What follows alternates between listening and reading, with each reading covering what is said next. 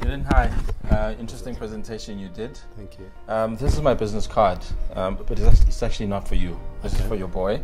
Oh, Um, yeah, I'm a fan of, of uh, Happy Socks. Oh man. I've been looking for somebody who can supply me with Happy Gonna- Socks. Yeah, gonna sign you on. No, I'm, I'm very excited about that. Great. Can you tell me about the dynamic between you and your son, just uh, in terms of what level of inspiration you think you may have imparted on him?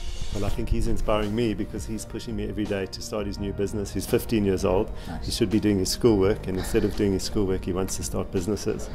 Um, and I think that's the future of our country. The future of Yeah. our country is young entrepreneurs that are prepared to give it a go. Yeah. As we know, most most fail. Most fail the first time. The problem is they never they don't try a second time. Sure. And if they did try a second time, there's an unbelievably high success rate second time round. Yeah. So we have to be encouraging people to start businesses, mm. be creative, be innovative, Yeah. and help build this country. Great. Just a little bit of a detour. Tell us about one or two of your failures.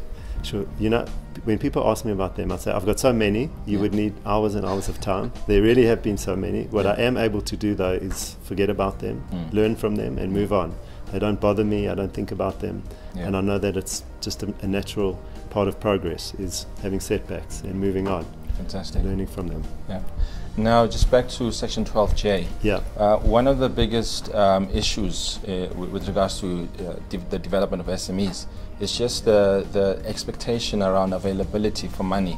Uh, what do you, do you, do you not think uh, Section 12J, um, as it, it's, it's known more in the public, that we would create that same level of expectation from entrepreneurs who are struggling or looking to raise money to grow their businesses? Well, I, I think it is creating a pool of capital for entrepreneurs. Yeah. Accessing that pool is not easy, Mm. and I think uh, one of the things entrepreneurs realize and need to realize that they need to have strong, a strong business plan.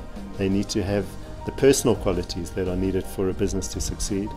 Um, and, and they're not just going to get the money um, that easily. It's hard to get money, and it should be hard to get money. Um, but good entrepreneurs should be getting money, and that's what Section 12J is facilitating. Is good entrepreneurs uh, getting access not only to capital, but getting access to people with experience that can help guide them and offer strategic support in their businesses. So, so just yes, there's expectation and then there's entitlement. Um, I know you, you mentioned that you, you see at least one entrepreneur uh, uh, a day, uh, you know, t- trying to pitch, trying to see if you guys um, can assist them to, to grow their business or invest in their business. Yeah.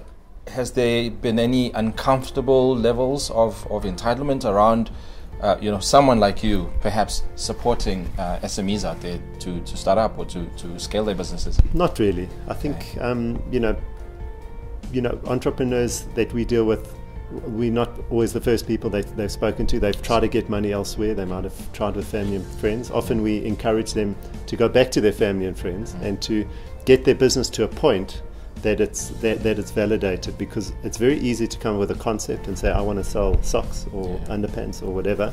Yeah. Um, it's much harder to take that to the to the point of saying people actually want it, people will buy it, and I can make a profit out of it. We so we often send people back and we say we're not saying goodbye to you, we're not saying a permanent no to you, but you need to go back and do some more work. Now, you started your business at a time where people may say was a different old time and possibly an easier time, um, where they, that you know, maybe there wasn't as much competition, there wasn't as much uh, possibly challenges around employment or whatever the case may be. What would you say to people around um, just around those points? I don't think there's ever an easy time to start a business. I've always found business incredibly hard. I think business is incredibly hard. True. Um, it's competitive. There are so many uh, dimensions to business. There are so many risks involved in um, in building a business. So I think it's an incredibly hard and difficult thing to do. Yeah. But it's with, with the right qualities and with the right support and with the right capital, Yeah. it's absolutely doable. And what's been your, your key driver just throughout the Kulula.coms of this world and everything else that's wonderful that you've worked through? Um, I just I just love um, I love change. I love seeing things become better. I love seeing uh, society uh, improving. Uh, and society, the improvement of society is a function of the collective efforts of members of society. One of which is business people and entrepreneurs. And I think entre- entre- entrepreneurs have a massive, massive role to play in this country today. Yeah.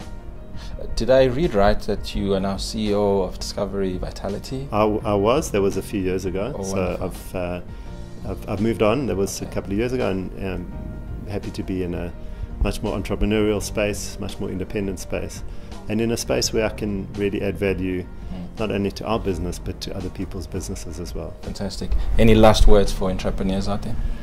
Yeah, I think it's uh, you know firstly kudos for being an entrepreneur and taking it on because Yeah, most true. people don't. Mm. Most people um, stick to the comf- comforts of Yes. whatever it is, the corporate world, Mm. um, nice paying job. It's hard to become an entrepreneur, and I don't think being an entrepreneur is for everybody. Mm. But for those that have taken that step, I think that's you know that's you're already um, far down the route to becoming successful um, just by putting your hand up. Fantastic, Gidon. Thanks for your Thank time. you very much. All the best.